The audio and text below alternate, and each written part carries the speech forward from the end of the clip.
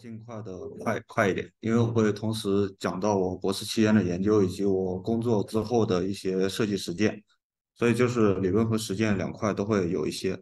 呃，那我先从那个呃博士期间的一些研究来说吧。呃，博士期间研究的是基于参数化模拟的中低层住宅建筑气候适应性优化设计，这块就是比较偏技术，这也是我为什么会这次会带呃我们自己的这个组来做这个呃以这个塔为例啊，一个外部空间村里的外部空间为例来建立这种从具体模型走向数字化数字驱动模型的一个一个过程，这也是基于我博士研究的一个部分基础。呃，当时的这个我不会讲太细，因为会比较技术。当时也就是分成了九个章节，然后针对这个建筑的这个住宅类型来做了一些这个分析并建模，然后做了最后成果，它不是一个设计，它是一套呃数字化运算平台啊。然后呃，因为当时我看到了这个旧城改造的一些问题啊，大多关于是这个呃。旧城改造过程中，这个老建筑的一个能耗过多的一个问题，所以我当时提出了一种气候适应性，也是希望用一种被动式的手段来进行节能设计。然后，但是呢，因为建筑师他通常缺少这种量化分析的手段，所以呃，经常在这种节能设计的过程中呢被边缘化。哎，所以我我当时就提出了一种呃一一种一种数字化平台，企图在方案阶段来有效利用这个建筑参数化分析的这个手段。在提高光热舒适度的同时，节约建筑能耗，然后降低建筑的生命周期成本。啊，这个是现有的这个全世界范围内的一个气候分布图。那么我在中国挑选了五个典型城市，就是哈尔滨、北京、上海、昆明、深圳。所以你看我的这个研究，其实城市只是一个背，地点只是一个背景。其实我是基从方法倒推到这个研究对象的一个过程。那么我研究对象是一个中低层住宅住宅楼，那么就是七层以下住宅楼。因为高层呢，它需要考虑更多的因素，它有不同的这个光照度、风环境差异，然后也不适于呃作为一种更多典型城市气候上的一个横向对比，所以我这个高层住宅也因为这个体量体型更大，性能模拟时间更长，而我考虑到它的一个复杂程度和时间成本，所以我把研究对象聚焦在这个中低层住宅楼，然后对气候适应性的界定呢，哎，也主要是这个呃。能量需求、光热舒适度和生命周期成本啊，然后这这一套是一个它的一个呃被动式能耗的一个一个呃计算边界，就是主要是它的呃供能、供冷和供暖的一个呃需求层面啊，然后这些我就不怎么说了，就是现有的这些文章发布啊，主要是清华大学，还有一些呃现多目标优化研究现状，主要是在这个参数优化参数、目标函数。啊，算法层面上做一个大致的一个分类，然后提出了就是现有的研究主要是从定性逐渐转向定量，呃，然后能相能耗相关研究呢越来越全面，从这个单一变量到多变量的一个组合，也是从这个简单的这个呃光照呃呃建筑单一这个能耗为为为为基础，逐渐转转变为这个考虑到人体的一个热舒适度和能耗的一个整合啊，所以它耦合是越来越受到重视。然后第五个呢，就结合参数化的一些方法，数据的模拟量越来越大，所以我们希望用到一些深度学习的一些方式，来减少这种呃太大的一些数据量，来了解数据的一个结构特征啊。然后我的研究目的呢，从理论框架来说是提出了多目标和多变量的一个关联分析结构，呃，操作层面上是对建筑的空间和维护结构进行一个优化，建立了一个整合式性能预测模型。啊，应用层面上就是对各气候区的设计规范进行一个呃量化分析，然后这些意义和创新点也就不多说了。呃，然后这是我的一个结构，第一章主要是发现问题，然后第二章就是建立了我的一个呃现有的一个节能规范的一个标准，就是现有我们现存的一个问题。第三章是建立一个优化分析的模型，第四章就是。呃，以这个模型为基础，建立了一个呃中低层住宅建筑的一个参数化模型，然后五六七对它的各个部分进行一个优化，第八章就是整合，第九章就是总结啊。然后这是现有呃我们我选了五个典型城市，分属于不同的一个气候区啊，这是一些基本气候参数的一个对比。然后就是相关的一些呃各个气候区的一些呃规定的一些指标，以及它的一些楼层的分布啊。然后我针对这个实地考察，然后列出了现有中低层住宅建筑的一个分类标准，就是从它的建造年代、平面形式啊、面积朝向啊、楼层等等，然后做出了一系列的一个分类啊。然后这一章呢，我就提出了一个呃优化模型的一个框架，呃，这个框架呢，其实就是把建筑师的或者设计师的一个思维把它自动化。就是设计师在设计过程中总是处于一个不断的呃 brainstorming，就是呃头脑风暴阶段，然后再选择某一个呃适合的方案，再进行收敛，然后再进行头脑风暴，再收敛，它是一个不断的发散收敛、发散收敛的过程。那么最后，其实这些这一套过程，我希望是用机器可以解决，就让机器自动化的来评判他们。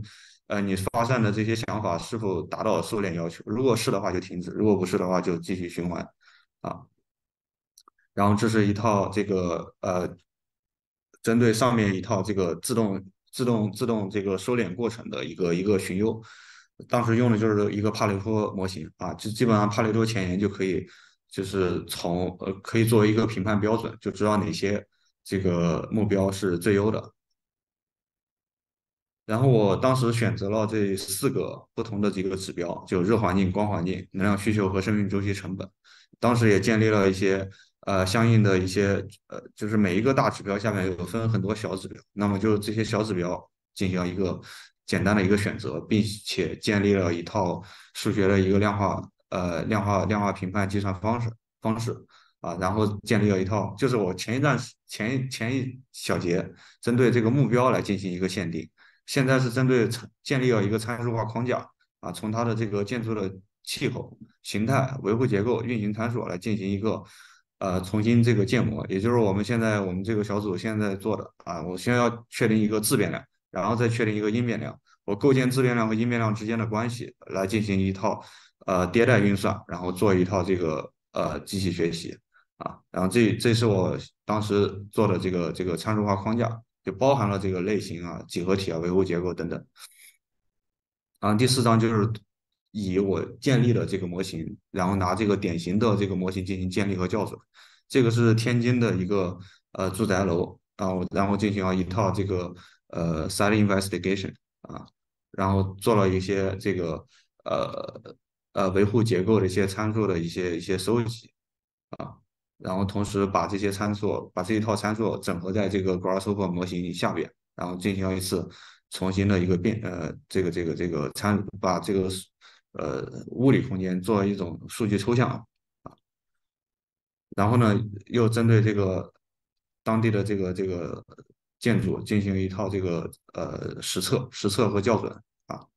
然后后来发现我所建立的这个数字化模型可以比较好的拟合现有的这个建筑的一个。一个一个一个呃能源运行状态，然后呢，就所以呢，所以现在证明我这个数字化模型是可用的。那么在可用的基础上呢，对它的建筑形态开始变化啊，变化完之后就可以在二十六万种不同建筑形态的这个可能性变化下，在五种不同气候条件下来进行一次大数据的一个对比。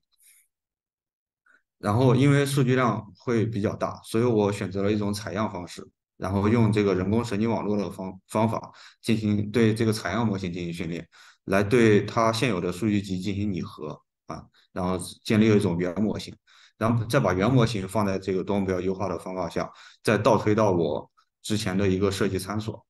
就是说，比如说我这是输入层，就是建筑的正立面长度、长宽比、楼层数、层高等等等等，这些设计参数是变自呃可变的自变量。那么我我需需要通过这个因变量来进行一次拟合，然后拟合来反推到底自变量哪种是最优的情况啊，可以实现我最优的一个这个建筑总能量需求和光环境舒适度啊啊，这是一套这个多目标优化的一个一个基本解释，就不多说了。然后呢，就是人工神经网络拟合呢，我随机挑了一百个数据和我的这个模型进行拟合，会发现我的模型基本上可以比较拟合比较好的拟合这个现有的一个数据集啊。然后在对我的这个人工神经网络进行一个这个设计参数的四 PMI 系数对比，就是在不同的这个气候条件下，四 PMI 系数就是说我的自变量和因变量的一个相关性的一个强度啊，在零点八到一的范围内呢是高相关性，然后零点六到零点八是强相关，然后零点四到零点六是中等相关，零点二到零点四是弱相关，然后在零点零到零点二是极弱相关，然后在不同气候区下面不同的形态。参数是如何影响到这些呃目标函数的？就是它的影响强度是怎么样？刚刚是哈尔滨，现在是北京、上海，还有深圳、昆明这几个气候区的一个对比，以及包含它的局部敏感性的一个分析啊，这个也就不多不过多展开。然后最后呢，在这个敏感性分析之后呢，我用这个多目标优化，达到实现它的一个帕累托前沿，就得到了它最优的一个参数啊，然后重新带入我的模型，就可以得到最优的这个呃建筑需求呀、建筑能量需求呀、供暖功能啊，还有一些采光照度啊等等的一些指标啊，在不同气候区条件下，这样就可以得到一个呃多目标情况下的一个最优方案啊。然后这个是随机抽取了三种建筑类型进行一个对比，这个也不多细说了。然后做完建筑形态呢，然后就做室内形态。也是拿一个类似的一个方法，对这个室内进行一次这个变化，变化的一个选取。那么其实还是有一个基本的一个数学关系的一个控制，就是我只挑选了一百一十八平米的一个户型，让它在呃可控的一个面积范围内进行变量。嗯，这是当时做的一个一套这个模型，然后一些相关的一些性能指标啊，这些是拟合。以及相关的四 PMI 系数分析，然后最后得到一个帕累托前沿，就是再次带入模型。所以其实呃，不管是从建筑形态、室内形态，还是说这个维护结构，其实做的这个这套方法就是类似，就是基本的一个流程。这个也是这个呃建筑维护结构，就是把这个维护结构的一个变量。和不同气候进行一个呃代入，然后进行一套一套计算，啊啊，然后带完之后，然后得出了各个城市之间的一个呃帕累托前沿，然后反推就是得到哪些指标是呃就是这个这个叫什么呃节能最优，哪些指标是这个呃成本最优，然后还有一些。各个呃相关因子的一些呃最优参数啊，这个是一些数据对比，所以基本上我的博士过程是比较量化的，就是纯量化，就完全由数据驱动。这一套就是把前面的一些啊建筑维护结构形、建筑形态、维护结构全部进行了一套整合，做了一套比较啊整合的一个模型，就是得出了这一个，就是前面如果你选择。城市选择不同工况、不同建筑类型、不同建还有一些不同的维护结构的一些情况，然后最后能直接导出它相应的建筑总能量需求、全年不输入时间百分比，还有一些成本，还有一些投资呀，还有这个这个采光啊，就是它会有一套呃类似于一个你不用去呃单独去模拟，但是你只要输入到我这个平台里，这个建筑就会直接给你一套预测啊，性能预测。然后之后呢，然后博士期间又做了一个建筑，然后就把这套方法用到了我自己的设计里边，啊，这个是在黄山的一个民宿，当时是博博一还是博二时候接的一个项目，然后啊对，然后带入到里边，然后做了一套这个帕累托前沿和和这个拟合啊，做一套预测模型，然后反推出来哪些材料是最优的。然后呢，就是得出了一些相关的一些结论啊，哪些是这个呃，就是基于天然采光和建筑能耗耦合的这个性能分析，会产生与这个常规能耗模拟不一样的一个研究结论啊，就这些相关的具体的一些些结论也就不细说了，就是这些啊。然后第二部分呢，就是我毕业之后做了一些研究和教学，然后毕业之后呢，我就到了这个浙江工业大学。然后和这个叫左边这个田云老师建立了一套这个城乡环境艺术与可持续设计研究中心，到目前为止是两年吧。然后之间主持过国家项目一次啊一项，然后省部四个，那厅局级也四个，然后发了十一篇论文，还有中文核心二十六篇啊，专注两部，然后指导很多学生获了一些奖。呃，然后现在我们下面有一些研究生呢，是三个，主要是分三个方向啊。第一个方向就是健康人居景观和艺术营造啊，后面我会有一些学生做的一些东西。第二个就是可持续建筑与更新设计，第三个就是地域文化保护、数字保护与传承。然后从呃这些三个方向其实都是基金驱动或者一些相关的一些项目带动起来的。就比如说呃田老师这个教育部人文社科啊带了一个就是。呃，基于视听交互方法，城市文化公园恢复性研究，就是利用这个在城市文化公园中利用这个眼动仪实验，我们会有个人机呃环境健康实验室啊，在这个实验室里，我们会做一系列的这种眼动实验，来做这种人体的这种压力测试，就是在多大程度上人会受到环境的一个呃情绪缓和，嗯，包括这些呃他的他的他的这个注意力集中性，还有这些情绪的一个恢复力。然后这个是利用脑电波来做一个呃城市蓝色空间这个游客视觉适应性，就是在有水的一些空间里边啊，通过这个脑电的一些一些因的指标的一些变化来看一下哪些啊这个这个呃城市蓝色空间的一些呃最优的一些设计设计因子啊，然后这是我们做在实验室做的一些脑电实验，然后。第二个就是可持续建筑与更新设计，这是来自我博士的一些论文方向，还有一个省社科基金啊。然后这个是呃，也是我和这个赵小飞，就我的博士同学，也是郝老师的学生。我们现在也在推动一个，就是呃，建筑自生成的一个。就基于 AR 的建筑自生成一套这个数据集，然后通过这个，呃，我们做这种底层编，呃，就是这个数据数据代码，然后可以自动生成相应的这个建筑和室内形式。然后呢，后期呢，我还会将这个我的这个气候因子和这个它的这种建筑形态，还有这种建筑样式进行一次这个对接啊。然后还有一些一些呢，就是相关从这个横向项目，还有一些国家社科基金啊来的一些地域文化数字保护和传承。一些相关的一些研究，这个是当时在这个泰顺带的一些啊研究生做的一些这个传统村落的一些基因图谱，这个当时我们也是拿这个 3D 扫描对整个村的一些建筑，还有一些村落的一些具体的一些指标，因为我带研究生就是一个要求，就是要数据驱动，呃，我觉得还是从这个数字上驱动还是比较有这种呃论文写作的一个呃逻辑性，所以我。其实对他们就也就这一个要求，然后也也会根据这一些方向，把这个乡村的一些形态基因图谱进行一种量化、一种可视化啊。包括我们当时拿这种 3D 扫描仪来对每个乡村建筑进行一次扫描测绘、点云建建模啊，然后还有做一些这个呃一些一些 SU 或者一些这种模型的一些类型分类啊。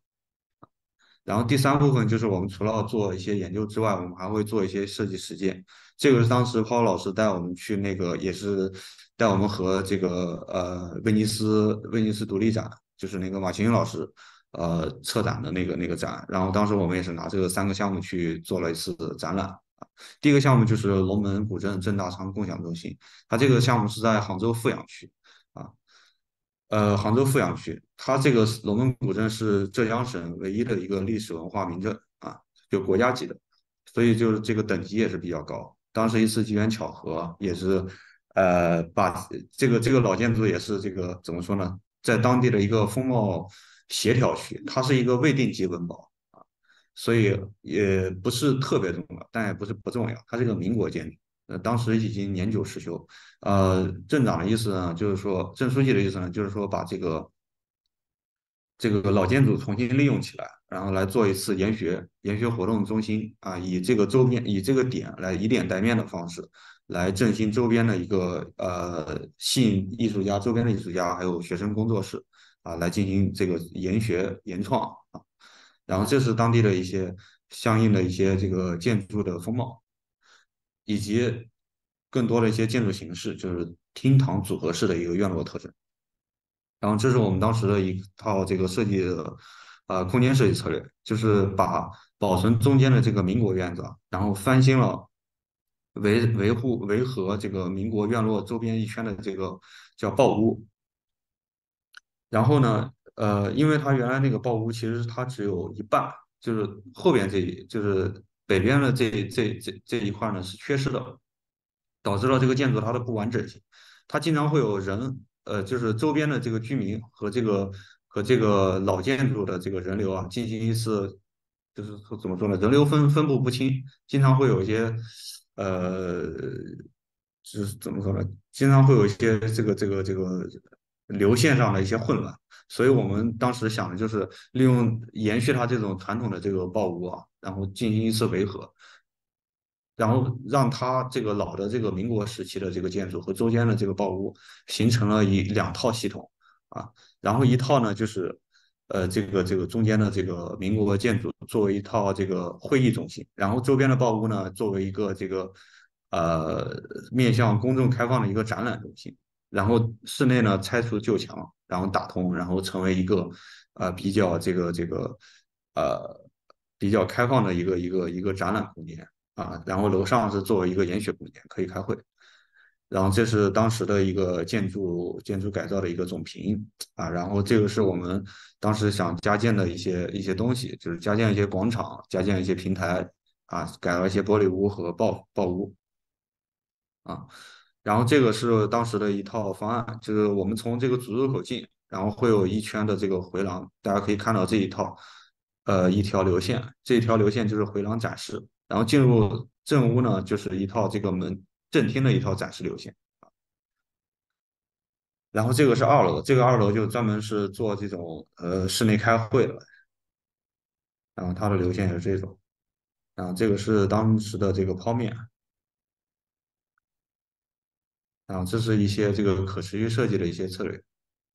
然后这个是呃鸟瞰，因为商业图选的不是特别好，就凑合看吧，然后这个是正立面。啊，然后这个是这个展厅，这是回廊展厅，这个是二楼的一个会议室，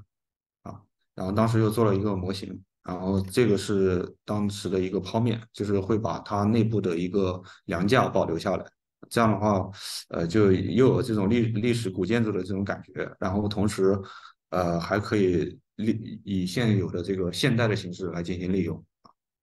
然后第二个呢，就是天台黄茶记忆馆，它坐落在这个天呃台州这个天台县，因为中呃浙江这些这些茶叶馆其实还是挺多的啊。然后然后我们做了一套类比，类比完之后呢，然后我们提出了浙江天台黄茶博物馆，它到底有哪些特性？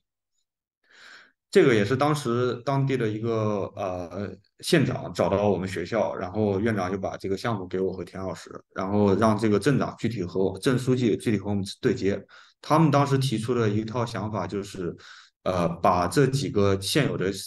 三个小学啊进行一套串联，然后呢，呃，最最好的这个风貌最好的这个后球小学作为一个黄茶的博物馆，然后雷溪小学呢作为一套这个研学。生活中心，然后这个这个这个祥明小学，因为它是现代建筑，它保存的不算，呃，它它风貌不是特别好，但是它是保存比较完整，那么也没有人用，他想作为一套黄茶工人的一个培训中心，所以这三套其实它是围绕黄茶展开的一套流线啊。然后这个是当时呃三个小学的一些呃基本风貌，这个是后球小学，可以看到虽然它已经。呃，比较有这种传统风貌，但是已经破败不堪，而且属于危房。然后还有包括这个雷溪小学，啊，这个是我们当时刚刚说的那个做这个生活馆，以及这个祥明小学。祥明小学也是比较怎么说呢？呃，非常现代，当然它结构是非常稳定的。然后这个是呃第一个项目，就是黄茶记忆馆，就是现有的一些呃历史的传统风貌得以保留啊。然后这个。但是因为它是地类危房，就是结构上基本上是不能用的啊。然后我们就是这个采用一个只把它门头啊保留下来，其还有这个立面保留下来，其余的呢就是把那个砖全给拆掉，然后呃标记，标记完之后重建的时候再把砖给贴上去。因为它那个墙是空斗墙，它在现在结构上已经不能不能作为承重的一个一个一个是，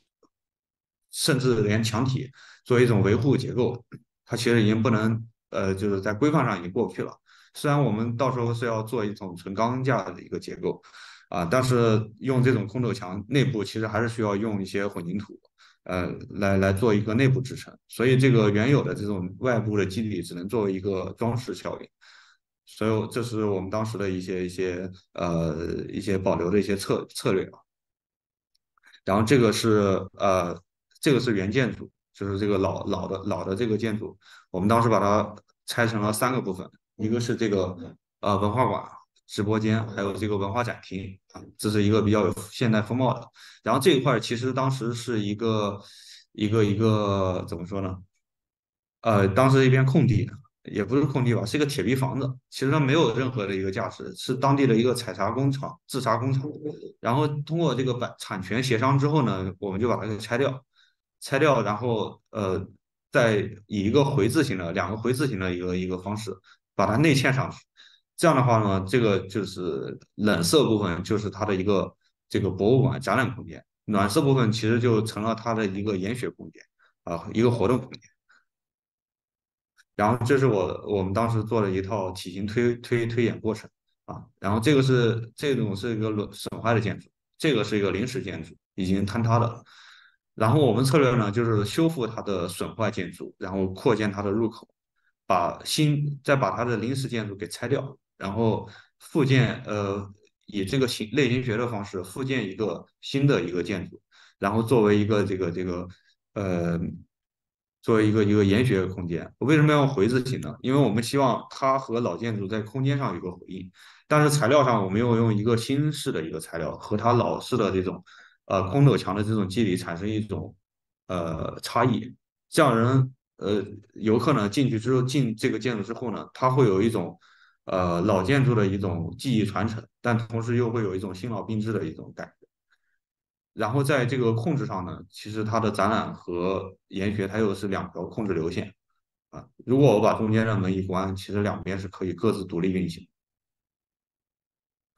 然后这个是所用的一些材料啊，用了一些你可以看到我们新建建筑用的是铝镁锰屋面板，然后老的一些建筑用的是多为这种现有的一些小青瓦啊，然后还有一些老的这个墙体基底，然后广场用一些火山岩。呃，火山岩石板啊，然后这个是两个两套这个院落的一套这个这个这个相互隔离的一个一个体量关系啊，然后这是一些室内的一些景观，这个是入口的一些景观啊，用了一些这个黄茶啊，来来来来来作为这个这个呃怎么说呢？是因为它本身黄茶博物馆嘛，然后所以我们植物就用多用一些黄茶。然后包括后边我们又复建了茶亭，然后所有的这个景观做成一种梯田状的这种显示这种黄茶的这个茶园的这种意象，啊，然后中间的这个这个西厢呢，就是这块就西新茶香啊，我们因为它是现代建筑，所以我们就把它做的景观也稍微现代一点，用了一些茶盘，用的是这个大粗小粗落玉盘这个概念啊，这个下面都是用一些镜面不锈钢来做的。然后这是一套这个经济指标，啊，然后这个可以看到这边是从这个一开始做一个文化展厅，然后我们走到这个文化厅，啊，这边是两边是厕所，然后上这个外边的楼梯，走到这个走到这个直播厅，啊，如果不想不做直播的话嘛，然后我们就走到这个西院，西院这块儿就是就是这个研学基地，这个大的一个创意区。以及这个呃休闲茶茶空间啊，就是喝茶的地方，因为它的这个坡度是最高的。然后这是相关的一些流线，以及一些这个入口，也包括我们在这个呃西院看到这个现代这种景观的一个效果。然后当时也是做了一套模型，可以看到这边是一个台阶状的，就是它是呃我们的景观呢也是和这种整个大地形也是。作为一种呼应，也是作为一种茶田上那种台台阶状的一种茶田。然后第三个项目呢，就是呃，我们做完这套黄茶，呃，叫我们也叫博物馆也好，记忆馆也好，就是当地的这个呃这个政府还没有确定命名，然后他们又给了我们一个黄茶生活馆，就作为一套这个呃手工艺呃匠人的一个研学基地。这就是另一个那个叫祥明小学啊，雷溪小学，雷溪小学。啊然后这是当时我们飞的这个鸟瞰的一个一个效果，就是可以看到它其实我们在做房屋鉴定的时候，它也是危房，整个的一个风貌其实可以复建，但是还是需要拆除。呃，然后有一些比较有这种历史感的，或者一些空间意象的一些元素，我们也保留下来。比如这种柱子，它的这种阵列感特别像这种特别呼应这种小学小学学校的这种这种感觉。虽然我们后期会把它改造成这种研学中心，但是事实上还是希望呃游客或者住进来的人不要忘记它原来是个小学。所以我们还是保留了这种柱状的一个阵列感，以及包括它的这种五星门头啊。还有后边的一个风水堂，都是有一些保留的。然后村里边人也特别注重，呃，房就是它这个建筑的这个高差不要盖过周边的一个建筑，就是不能就是说，比如说你家盖的房子比他家高个半米，这种事其实在村里面是不被接受的。所以当时当地政府也要求我们在这个整个高差上面有一些限高啊，然后这是一套这个策略。一基本上是一套场地场地校园范围，然后我们拆除了一些老的一些建筑啊，基本上是重建。这个在呃历史建筑修复里面叫做落架大修，因为他们当地报上去的一种呃政府报上去的是以是以修缮的方式来报批的啊，但是呢，事实上这个呃资金呢又不到位，然后同时呃整个建筑结构呢也是属于这种。呃，地类危房的一个状态，所以我们只能采用这种落架大修的一个形式，基本上就是重建。然后同时我们也新建了西侧的礼堂，作为一个呃会议中心，然后动静把禁区安排在上层，动区安排在这个下层啊，作为一种分区，然后置入了一些相关的一些庭院和入口的一些景观啊，还有因为原来的这种小学它还是呃是。围合的比较封闭，所以我们加入了一些廊道的一些灰空间，然后最后的一些效果图，呃，就是这样子啊。然后这个是一些一些分类，这个是呃进入之后的一些一些平面图，这个是呃主要的一个交通动线啊。然后这个你从剖面里可以看出来，我们所做的一个这个。呃，相关呃空间关系啊，这块是这个礼堂是一个大的空高空间，然后这边主要是一个呃匠人手工艺这个这个工作室，还有这边是一个民宿啊，然后底层呢就是打通的一个展览馆，然后这是一些泡面，对，